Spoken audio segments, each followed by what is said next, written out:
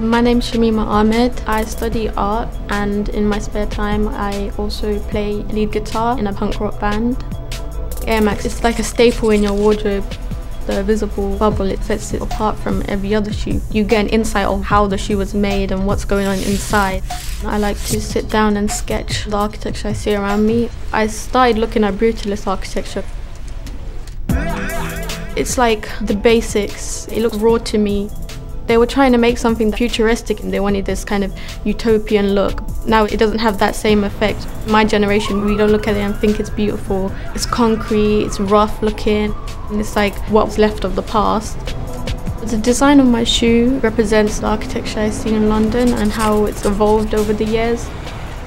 On the top of the shoe is cut out images of brutalist architecture so I could tie in the past and the future. I use chrome and reflective material which represents the new materials you see in the buildings nowadays.